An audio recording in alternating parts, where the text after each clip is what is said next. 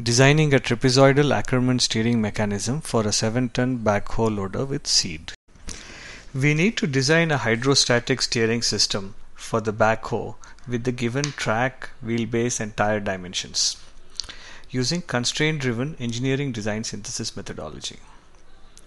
We already have defined the basic geometry, uh, chassis, tires, steering assembly consisting of axle, stubs, steering arms and tie rod along with the hydraulic cylinders.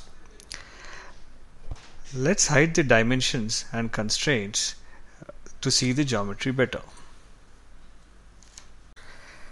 Now we give the Ackermann condition in the center configuration. That is to have the imaginary lines passing through the left and right steering arms meet on the rear axle. For this, we extend these two lines till their intersection. Then we create a coincident constraint between the end of one line and the middle of the rear axle.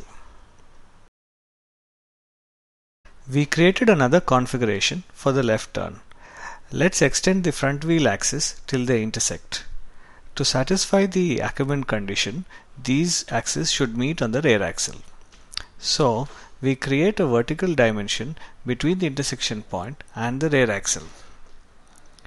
Then use optimize command to reduce this to 0.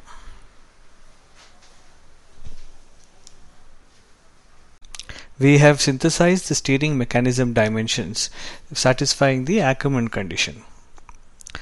The turning radius is the distance between this point and the center of gravity on the chassis.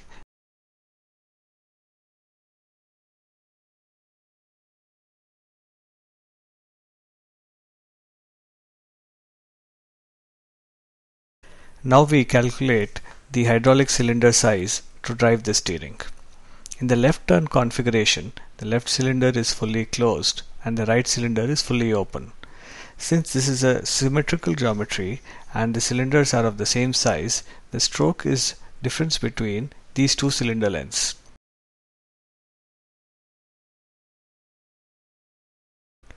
In this case, it is approximately 124 mm. The force on shaft GS is given as 40,000 newtons. According to Taborek's formula, the total steering torque ML is calculated, where B is the width of the front tire. Cylinder piston rods then produce a steering force F. Here, R is the minimum effective radius arm for steering cylinders. The steering force is around 23,500 newtons.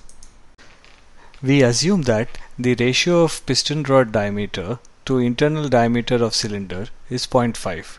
Steering cylinder pressure P is assumed to be 100 bar. Cylinder diameters and stroke volume V are calculated based on cross-connected cylinder configuration formulae.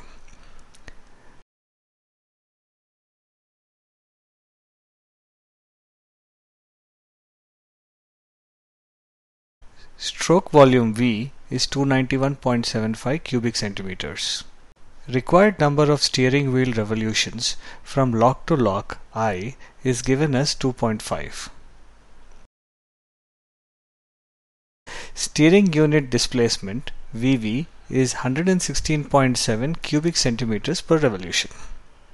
The cylinder dimensions are thus calculated. The steering error is the difference between the actual angle made by the outer front wheel during steering maneuver and the theoretical angle. Here we are running a simulation and exporting the values to Excel to find the maximum steering error.